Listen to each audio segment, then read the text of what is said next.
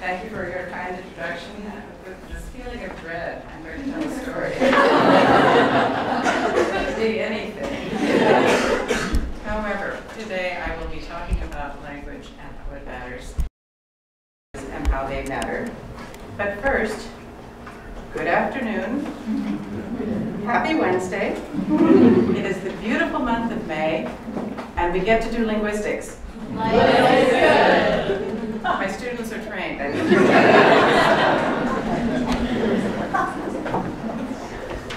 okay, so orientation. Uh, I'm a professor of linguistics. Linguistics is one of the lesser known fields of study. If you're going to take a course in history or chemistry, you probably pretty much know what the plot is and what's going to be discussed. Linguistics, not so much. I have known people who have taken my class because it fulfilled an arts and humanities requirement who didn't even know what linguistics were.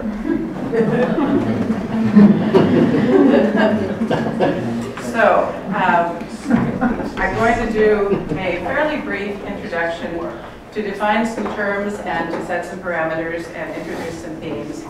Then there are two middle sections and then a conclusion which will probably be mercifully brief. Okay, here we go. Language. Language is a system of communication, human communication, involving speech or sometimes gesture. We limit our study of language to that in the linguistics classroom because even though there are other kinds of communication that are very important, if anybody tells you that body language is not important, they haven't been paying attention, but you will. so we don't deal with that. That's for the communications colleagues to, to take care of. We study the system of language and how it works. Language is rule-governed behavior. The rules are subsumed under the notorious G word, about which I'll talk more. Grammar is really pretty cool when you're a linguist. Uh, language is very nearly universal for humans. As the noted linguist Steven Pinker has said, babies are born with the instinct to speak the way spiders are born with the instinct to spin webs. You don't need to train babies to speak, they just do.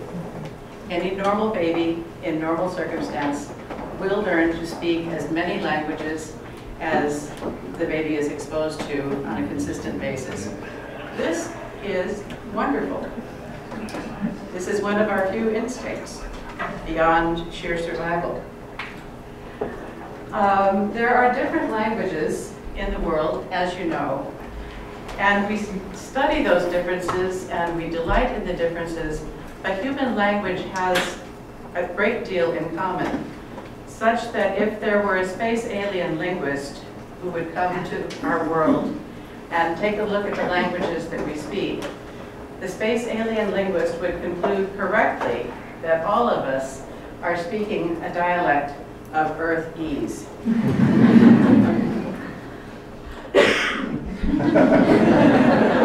Shameless plug for the wonderful film Arrival. Yes. I love that film.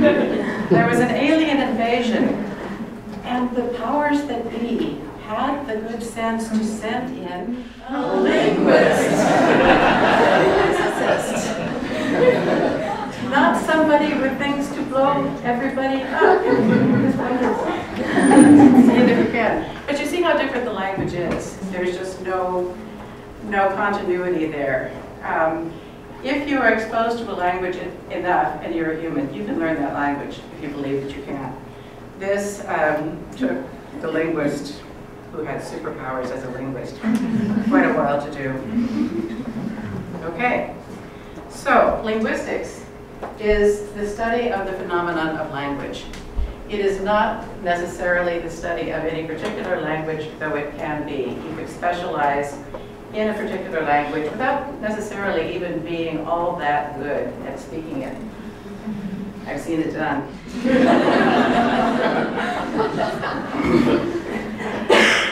when we talk about our knowledge of language, every one of you has complete, perfect knowledge of your language, complete, perfect knowledge of your idiolect. The thing is that this knowledge is procedural rather than declarative. Procedural knowledge is when you know how to do something, you just can. Declarative knowledge is how you can explain how it works, what it's doing.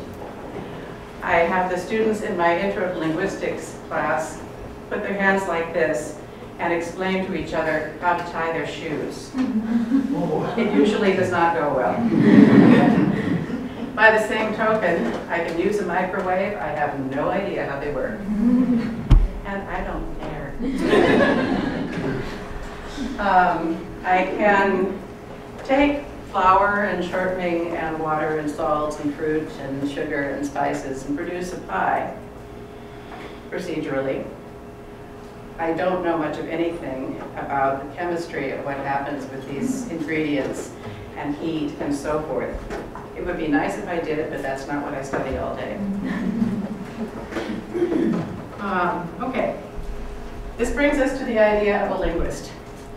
When you see a job um, announcement for a linguist, where these announcements appear, usually what they're after is somebody who has facility in a number of languages. If the FBI wants a linguist, it's somebody to go in and speak the language that is needed. Uh, same with other governmental entities and others. When linguists talk about that, that's not what we mean. We mean somebody who's fascinated by the phenomenon of language and wants to make that the object of intense study. Here is an important disclaimer. This afternoon, I am speaking as a linguist, not as a maker of political statements or an advocate for any particular course of action or inaction.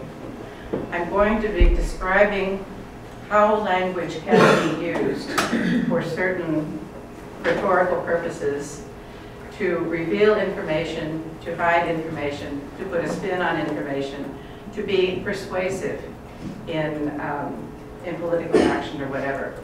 If you think I'm getting political, I'm not. Ah, grammar.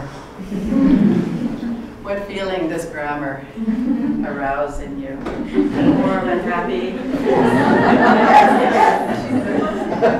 For some of us, yes.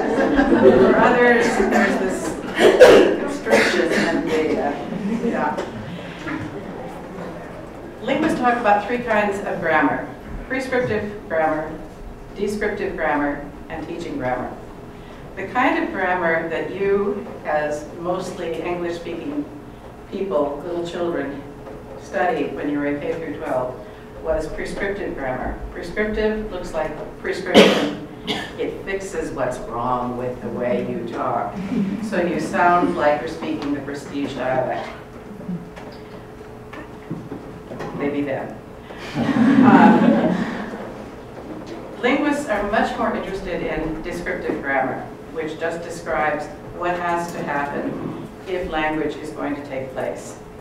You have to utter sounds in a certain way. You have to put words together in a certain way, otherwise it just doesn't work. And that's what we're interested in. Would you think we might be interested in varieties of language that have different ways of expressing things? My good. Double modal. okay. Here's a technical term in linguistics, creativity. When we use that term in everyday life, when we're not talking about linguistics, we tend to mean the ability that people have to write beautiful poetry, to design wonderful buildings, to compose glorious music, or to make amazing things out of empty oatmeal boxes, dried pasta, paint, glue, and glitter. This is not what we mean when we talk about creativity. Instead, it is the fact that for speech, we have a smallish, varies from language to language, pool of speech sounds not all languages use all speech sounds that would be that. So we have our set of speech sounds. Linguists, you can do this along with me. They are put together into a much larger, but still finite, set of words. And those words can be put together into an infinite variety of phrases and sentences, most of which have never been uttered before. Every time we talk, it is a new creation. Even if we're just saying hello, it'll be a little bit different from the last time we said hello. and these differences are noticeable and can be important. So um, we can be the image of the Creator in this way. In fact, we are. I can say something that you have never heard before and create something in your mind. The three kangaroos in the lobby just set fire to one of the sofas. They're using the fire to roast marshmallows and trying to feed them to the alligators. But the alligators prefer kale. no one has ever said this before. because why would they? I am using this as uh, an indicator that we create all the time. We bring something out of nothing all of the time. Um, George Lakoff, another linguist, is famous for his book, Don't Think of an Elephant. When I said, don't think of an elephant, what just happened? Okay, end of the beginning.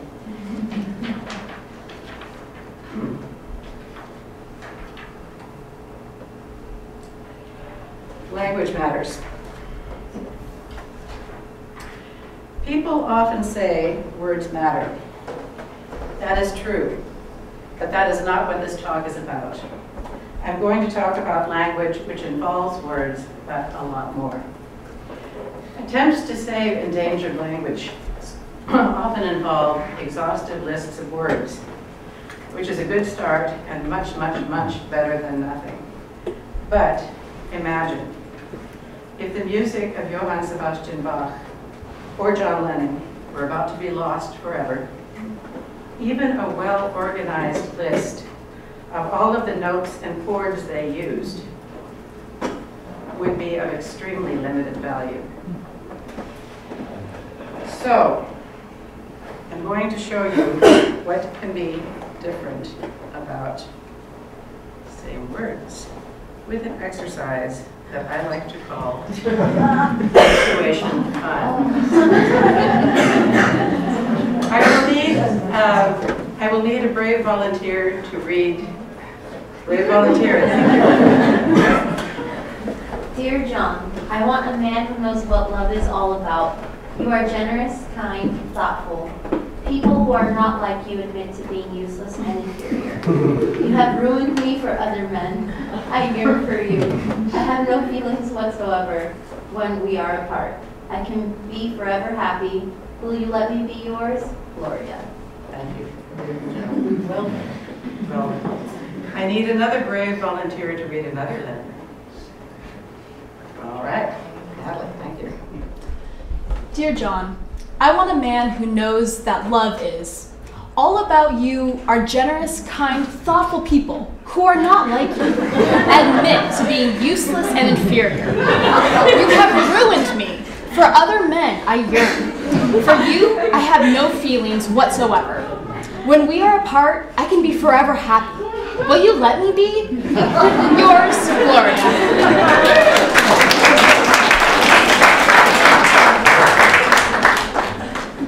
Found a typo. They're always going to get in there. But you see what just happened? Meaning is not composed by the words or even the word order. Meaning has to do with hierarchical structure, what belongs with what, what phrases go with what. And until you know how that language is organized, you can only make guesses about the underlying meaning. Now, um, what that has as uh, relevance for life and thought in general is that back in the day, people did not use punctuation at all. And it was fairly recently that they decided to put spaces between written words. So if you are going to interpret something that is a written text, an ancient text, you gotta be good. And you have to have all kinds of corroborating evidence about what the text actually says and uh, can be interpreted as. Okay, where are we?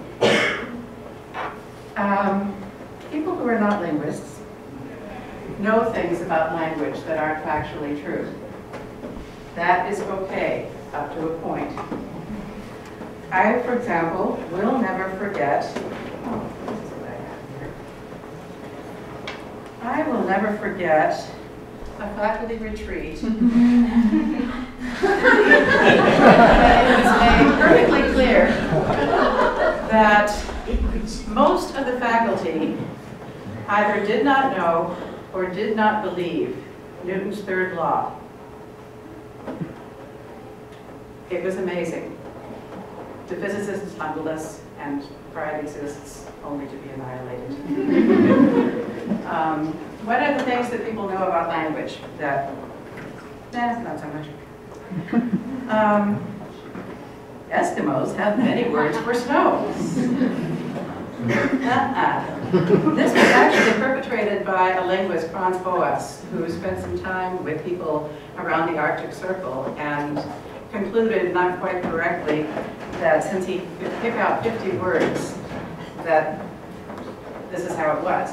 What he didn't realize was about polysynthetic languages, where you go straight from morphemes, which are minimal units of meaning, into full sentences. You skip the word level. So if I say in English, we went moose hunting, it takes me four words to say that. It does not take four words to say that in Chukchi or many of these other languages. So, what's another thing? Oh, yes. When I talk about grammar with introductory uh, linguistics classes, and this is something that has held true over 29 years. I've taught the course at least twice a year, usually three times, and only twice in all of those times when I asked, do you remember a rule of grammar? Has it not happened that the rule of grammar that they remember first is add before he, except after C. I find this hilarious. Endearing, but hilarious. Because it's a spelling rule. Yeah. Doesn't even work. People also think that when you, when you talk, there are pauses between words. No. No. Here's an experiment. How many words are in this sentence?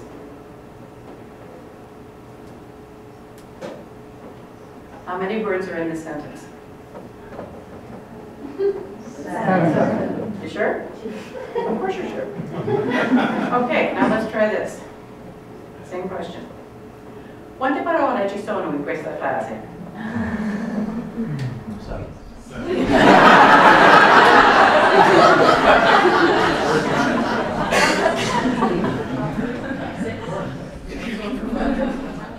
One, right?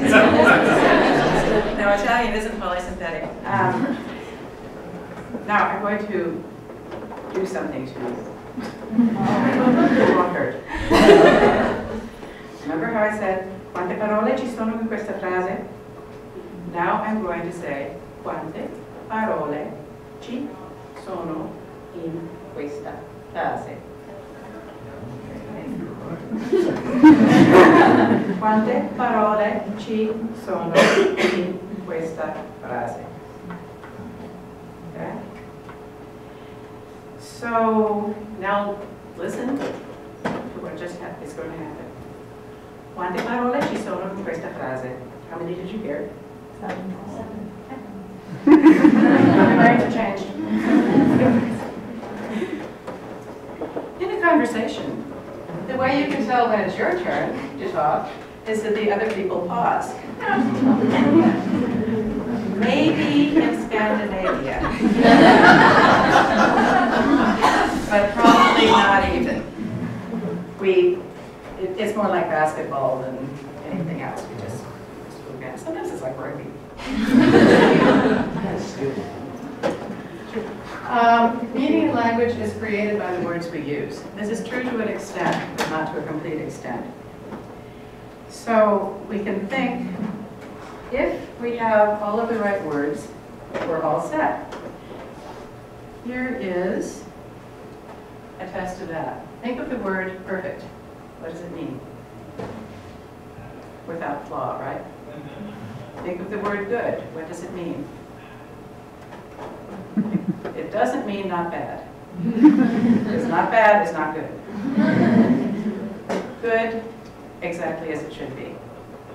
Okay. Watch what happens when I put them into a phrase.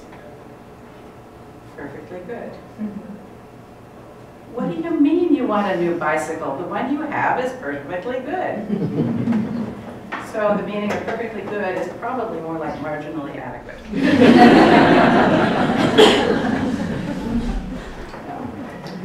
Okay, where are we? Okay, and word meaning is stable. So that over the years and over the centuries, you can be sure that this means this, and it always will. I won't even go into how wrong that is. It's just wrong. So instead, as we go further into this, I'm going to give you three more tech- technical terms. Uh, Morpheme is a technical term meaning a minimal unit of meaning. If I say the word reason, you know what that means, right? If I say reasons, is that the same word or a different word? Be careful. What if I say reasonable? Definitely a different word. What if I say reason all by itself? What if I say zzz? Able. So these bits of meaning may be either bound or free, and they will combine to form the larger meaning. Transform words, and we'll see how uh, important that becomes to our, uh, our communication. Um, Now, consider the word replaces. How many morphemes can you find in replaces? Re, place, z, right? All right, and the main word is place. And what comes next is re to make replace. And then you add the, the s to make it um, third person singular. All right, what does place mean? Put. What does re mean? Again, does it? I'm going to place my glasses on the table. Now I'm going to replace my glasses. I don't think so. I think I'm going to place my glasses on the table, and I'm going to replace my glasses with a pen. So the more things you think you know may or may not be what you know. Isn't this fun? Um, Compositionality is the meaning of something or other the sum of its parts. On the word level, we can think of compound words like doghouse. It's a house for a dog. Compositional, it works just fine. How about scarecrow? Is it compositional? Kind of, because it isn't the kind of crow. It's an object that does things to crows, ideally. Uh, how about skinhead? It's not about skin, and it's not a kind of head. It's something else entirely, okay? So that's on the word level. On the sentence level, for compositionality, uh, she kicked the soccer ball. We understand this is compositional. She kicked the bucket. It does not have to do with moving a container with your foot.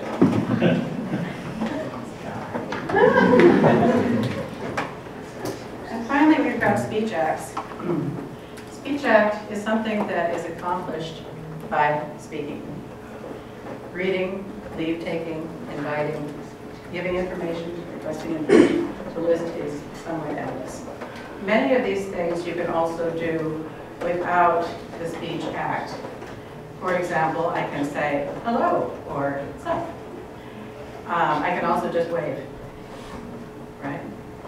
I can apologize, and I'll show you the speech act of, uh, of that in a minute. But if I'm in a car and I've done, done something idiotic, I can apologize for having done something idiotic while driving. Show me that you know what that is. No. Um.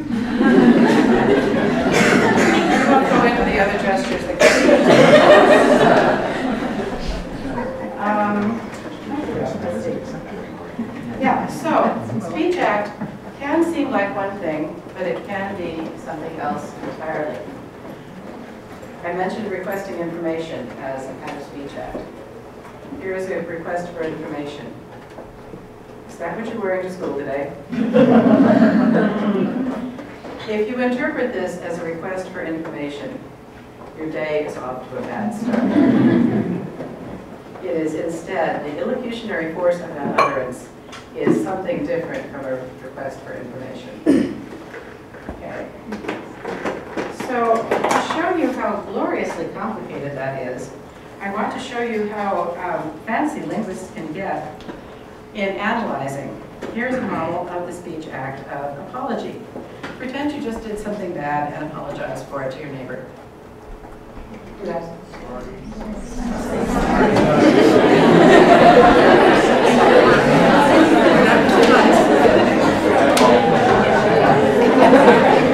Thank you.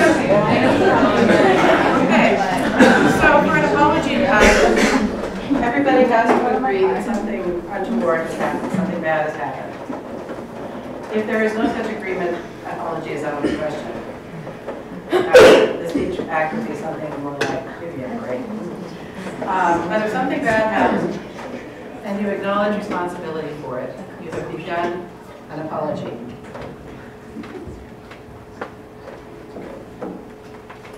No acknowledgement of responsibility, no apology. And sometimes that's perfectly okay. Um, didn't make that paper come in late. Um, You've acknowledged responsibility. Are you done? No, you are not done. There is partial responsibility versus full responsibility. Yeah, I did it, but you made me. Versus, yes, through my fault, through my own fault, through my most grievous fault. If you've acknowledged partial responsibility, you've got a partial apology. To get a full apology, full responsibility. With, with or without renunciation of that act. Yeah, I did it. I wish I hadn't done it. Yeah, I did it. It was so worth it.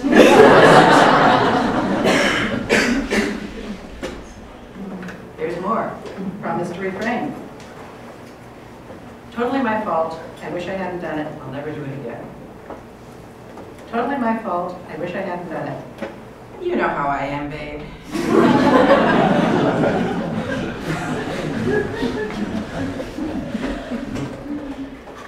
You're not done yet. When thou hast done, thou hast not done, for there is more. Offer of amends. How can I make this up to you? It makes a difference if there's an offer of. Are you done at this point? Yes. But you have to go through all those steps. This, folks, is why I'm sorry you feel that way. It's the opposite in many ways of an apology. You now know why it rankles so much. Okay, where were we? Um, Yeah. Okay, the way language is used, and you've just seen a few of the tricks here, there are many, many more. The way language is used affects the way people think or don't think, and hence the course of events. A classic example is the use of the passive voice. You have been told probably at some point in your life never to use the passive voice.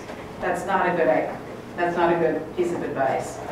If you are writing up a lab report for science, for example, it completely does not matter who did the procedure. What matters is the result, hence you're putting the focus on the result rather than the agent who did this thing. Agents and passives are used in a rather more nefarious way, however. Mistakes were made. I, when I hear that, have to make a guess about who exactly was to make that mistake. Um, But we're, we're shielding that person um, from blame.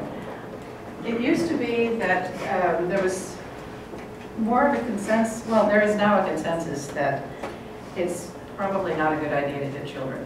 But when I first started teaching intro linguistics, a lot of people thought that, yeah, spanking is is perfectly good, and children should be spanked if they're going to um, be expected to learn how to be. Um, If you are finding yourself in agreement with the idea that children should be spanked, just like that is, completely fair, think about it. You probably mean they should be spanked by their parents or people who love them and are responsible for their care and nurture. You probably do not think that children should be spanked by random strangers. But if you agree, yes, children should be spanked, without stating more about who's going to do this, you're opening yourself up to a place you don't want to be. Um, Yeah, Lakoff, um, back to Lakoff, the don't think of an elephant guy. Um, He's talked about phrases that are used in public discourse where people can be talking and talking but not getting anywhere because they mean very different things by what they're saying. I don't know what kind of a monster would be against family values. That phrase just all by itself. But if you start defining, if you start thinking, which family, the configuration of which family, which values, you'll find that you might not have as much common ground as you thought you did when you're having a discussion about the importance of honoring family values. And that's just the way language works. It's not because anybody is being bad.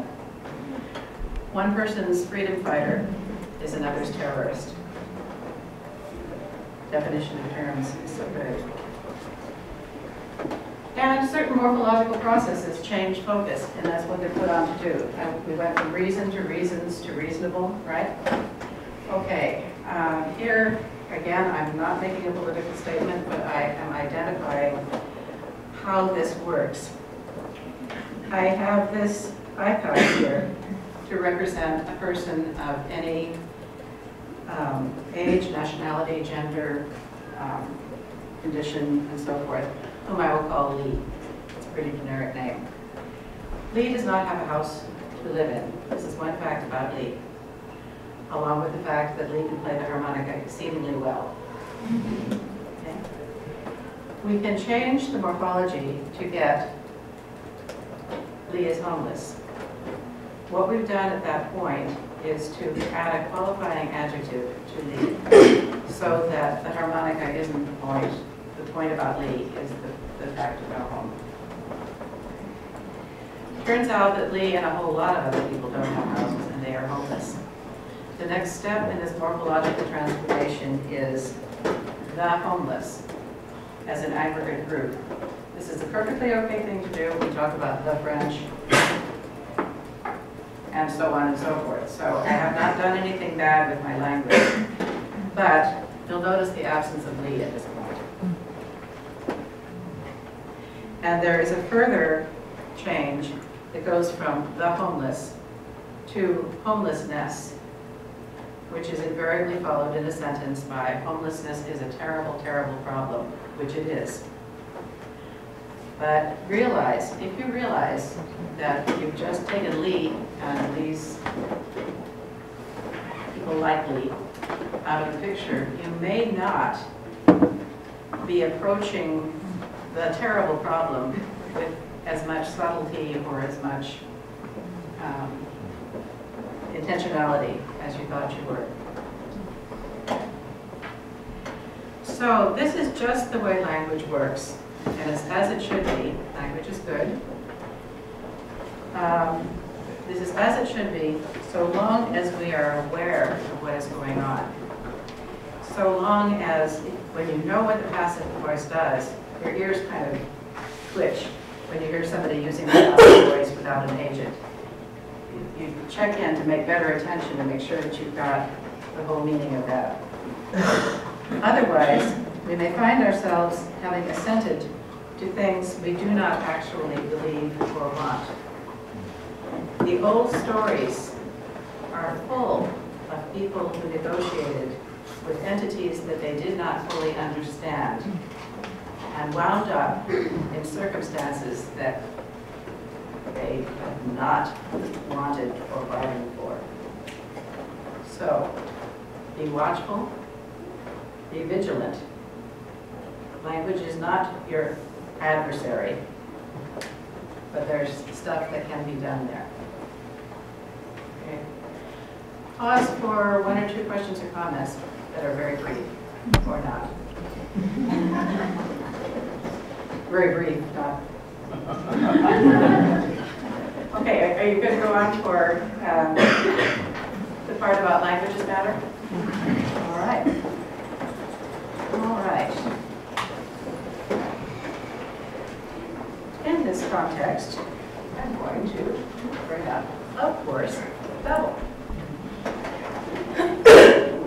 You've probably heard the story about the Tower of Babel. Um, Take one minute tell each other that story.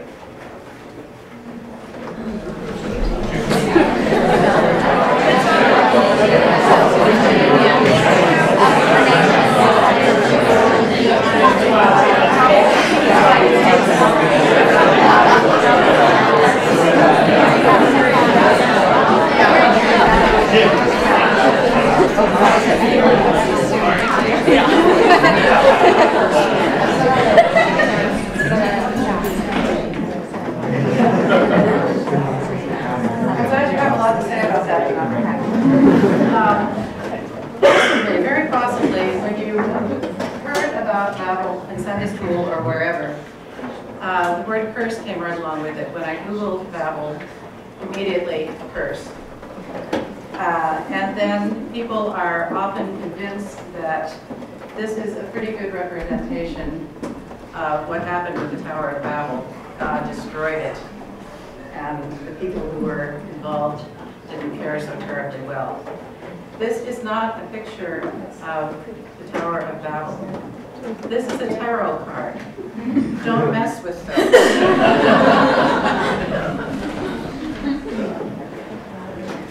All right, so here is the story. It may surprise you. I am often surprised when reading scripture that I've read a hundred, a thousand times to find something that I haven't heard before. See what you're finding here. This is in the book of Genesis, chapter 11, verses 1 through 9.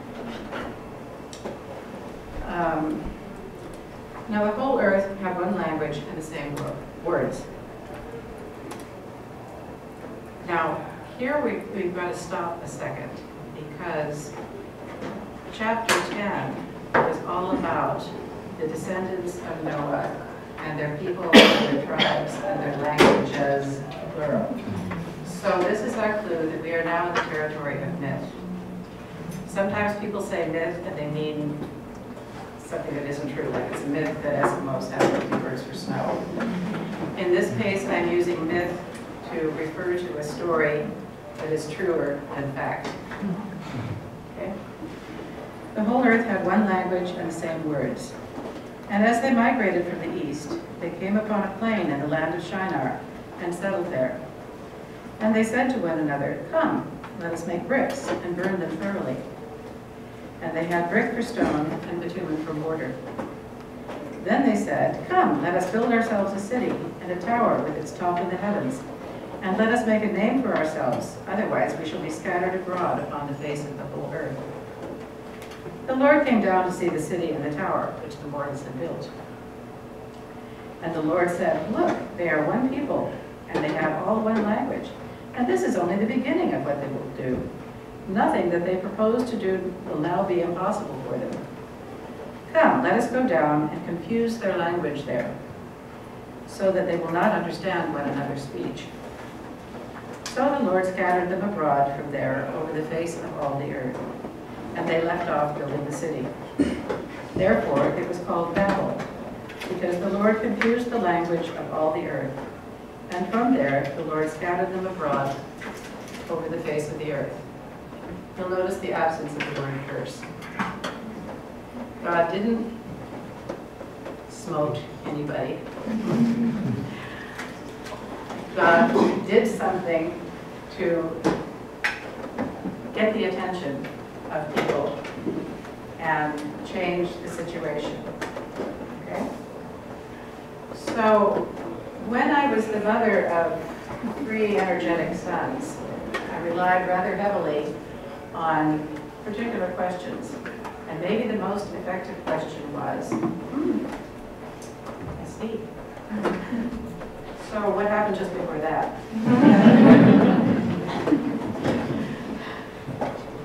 And, you know, that usually led the conversation in good places. Um, So what happened just before the story about Babel? What's the previous narrative? Anybody?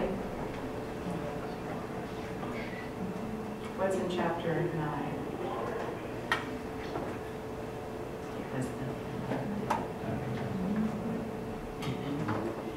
And so there was the flood that destroyed everything and took away the curse over the land that had been there. Um, the Land was baptized, it's all reset. And God gave a commandment which was to do what? And fill the earth. So if everybody's gathered into one place in order to make a tower, they're not doing the fill the earth thing. When you've got little children, instead of spanking them, you can redirect. Redirect. Okay? And here is a thing that is not in the Bible, but that I think because of my life experience. I don't think that the tower was built by volunteer labor. I think that it was the idea of some people within that city, not everybody, to be building that tower. I think that it's very likely that more than one language was spoken there in many literal and non-literal senses. But the only language that mattered, the language of power, was the language of the guys with the clipboards who were telling everybody else what to do. And the people who were not speaking the language of power, either because they didn't know it or, I don't know, for whatever reason, if you're not speaking the language of power, and that is the situation you can be forced to do whatever you don't want to do, you can speak all you want to, or you can, as my Scottish grandmother would say, spare your breath to cool your broth. and it doesn't matter at all. What happened with the confusion of tongues was that people realized, oh, we're not all speaking the same language. We do not need to be all under this single discourse. We can have other ideas about things. It's all right. So the hegemony was broken at that point. And far from being a curse, it is a blessing. And I don't say that just because I'm a linguist. Okay. Um, so here's a picture I like a lot. Everybody's busy on the tower, but at a certain point, they're just going to abandon this because it is a vain effort. Um, You're never going to build a tower that reaches the heavens. And if you wanted to do that, why in the world would you come down from Mount Ararat and go into the plains of? That's exactly that story. Okay. So, we come to a notion at this point of Language and power. Language is extremely powerful. Conquerors do not learn the language of the vanquished, except for a few commands, typically. There can be um, people who are going back and forth between languages, they're translators, and I can think of two very good examples of just how dangerous a situation that is. Malinche was the Aztec woman who was interpreting between the Aztec government and Cortez. Things did not end well for her. Iraqi translators who were going between Iraqi Arabic and English were putting themselves in harm's way. And that is just, it's very, very difficult. Um, sometimes conquerors are so powerful, they don't want anybody with even the power to be using another language around them because they might be plotting. So language suppression happens all over the world. And the prime um, method for doing that is boarding schools, where tribal children need to go and speak only the language of the conqueror, and in some cases be punished for speaking their own language until that language is extinguished. Linguicide is not good. All of the languages the world are languages that we need. We need to protect, we need to preserve them, and not just by writing down a list of words.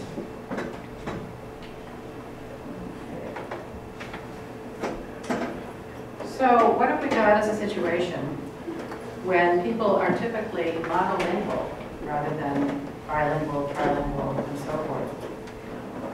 Um, monolingualism is either a token of privilege or of abject oppression. If you can go through the daily life of every day speaking only the language that you grew up speaking, and even as more extreme, only the dialect of the language that you grew up speaking, as opposed to the same language but with different socioeconomic markers and so forth. You are in a position of privilege and power compared to somebody who can't do that. If you did not grow up speaking in the language of power, you can learn other languages and negotiate things that way, and it's probably a good idea. If you grew up speaking a language other than the language of power and did not have the chance to learn the language of power, you're in a bad way.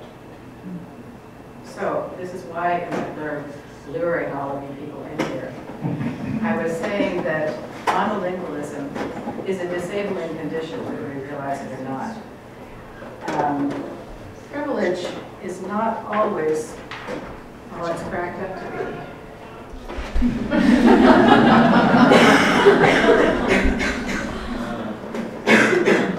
yes, only an SPU with references like this be.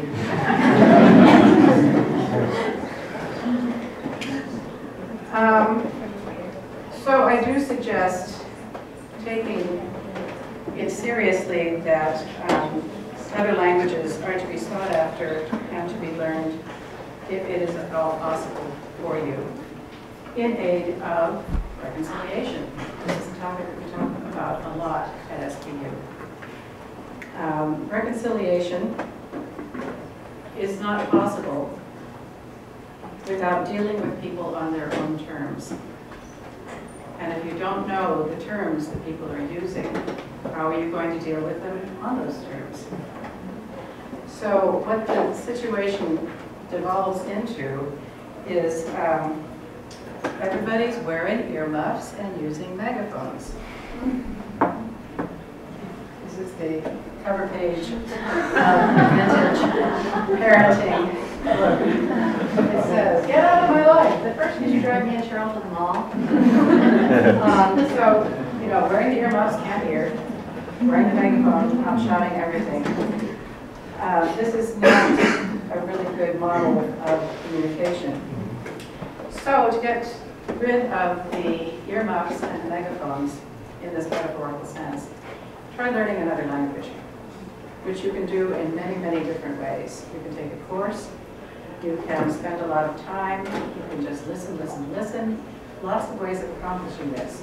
It doesn't always work this way, but it can be a very good spiritual exercise. Uh, The etymological meaning of infant is one who can't talk. So you are stripping yourself of the adult prestige, the adult privilege, your ability to express yourself as the person of power that you really are inside. I start thinking of literally um, And um, whatever means you take, ideally, it's not going to be one of those courses that is teaching you how to instantly get your perceived needs met um, and get the lowest possible price for those artisanal goods. Um, Yeah, if you do that, it's a good idea. And it's not hard, and it's really fun. So, Pentecost. Favorite church holiday of linguists.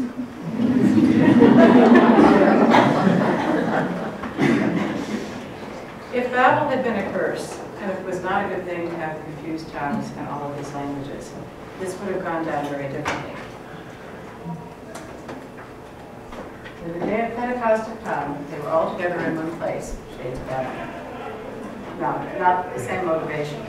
They were in the same place because of their fear of um, being seen as an ally of a political, um, politically dangerous person. Suddenly from heaven there came a sound like the rush of a violent wind, and it filled the entire house where they were sitting. Divided tongues as a fire appeared among them, and a tongue rested on each of them. All of them were filled with the Holy Spirit and began to speak in other languages as the Spirit gave them ability. Now, um, Pentecost experiences are not commonly available to anybody who asks. They have to do it the hard way. The, um, the gate of Eden is closed to that, that quick and easy thing unless there is a miracle. But all of these people did not all suddenly start speaking biblical Hebrew. Instead, the crowd was bewildered because each one heard them speaking in the native language of each. So this is affirmed. And how is it that we hear each of us in our own native language? In our own languages, we hear them speaking about God's deeds of power. All were amazed and perplexed, saying to one another, What does this mean? But others stared and said, They are filled with new wine. Being filled with new wine does not help you speak other languages.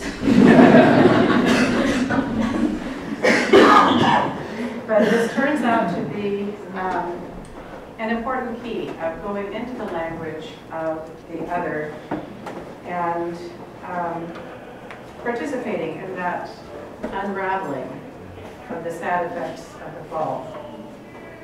So we don't have at Pentecost earmuffs and megaphones, just the Holy Spirit speaking through the mouths of the, of the believers into the ears of willing listeners. Pentecost was one off, um, but we can learn other languages as we do. And um, there's this nice passage in First Corinthians as well. There are doubtless many different languages in the world, and none is without meaning. But if I do not know the meaning of the language, I shall be a foreigner to the speaker, and the speaker a foreigner to me. So with yourselves, since you are eager for the manifestations of the Spirit, strive to excel in building up the church. Um,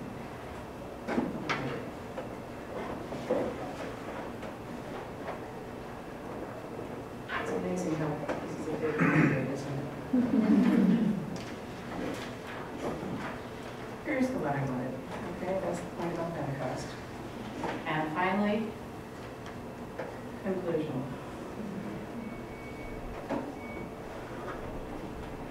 We need to use language in the right way. We use it in the same way that fish use water. We, we're just in it all of the time. But to the extent possible, we should pay attention to language.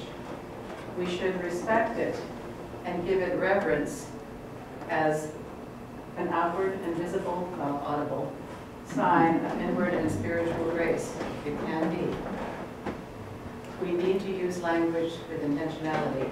We need to discern the intentions of the speakers that we listen to.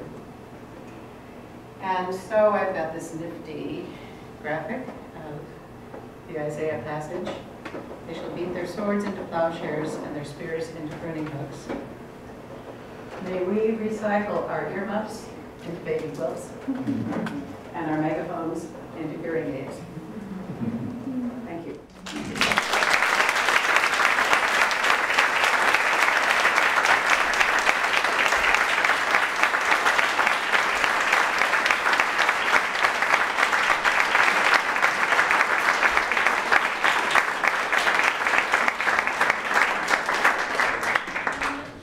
Anybody have any questions? Comments?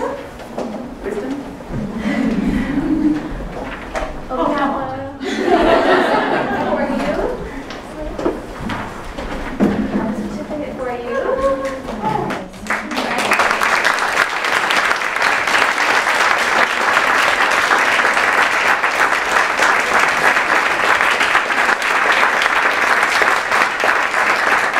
Dr. Langford will be closing that prayer tonight.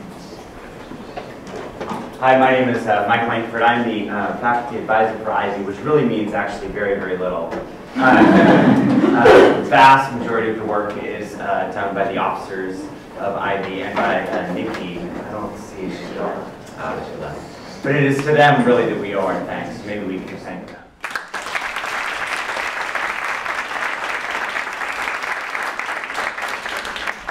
And thank you to you too, Dr. Bartholomew, for your years of service uh, to the school, um, to students, to faculty, to staff.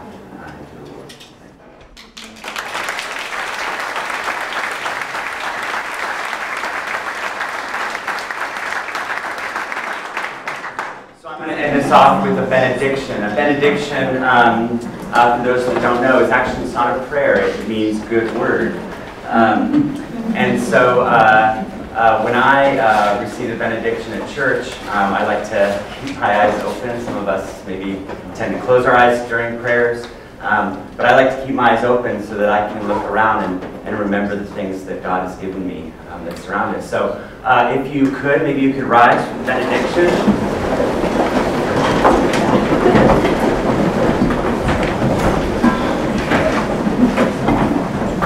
Now receive God's good word, God's blessings. May the Lord bless you and keep you. May the Lord make his face to shine upon you and to give you peace, both now and forever. Amen. Amen.